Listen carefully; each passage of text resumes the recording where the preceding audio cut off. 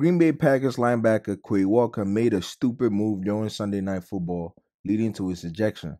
It was completely unnecessary, too. In the fourth quarter of Sunday's game between the Packers and the Lions, with the Packers season on the line, a member of the Detroit Lions training staff came onto the field to attend to an injured player. The trainer attempted to squeeze by Quay Walker and assist the player on the field, but Quay Walker shoved the trainer and then got tossed from the game. Not the smartest move by the rookie linebacker. Just watch the video. Hmm. Matt LaFleur. So the trainer basically is just trying to get in to give assistance to Swift. And just he didn't do anything except trying to wedge his way in there, which you have to do. And then Devonte Wyatt came in and did.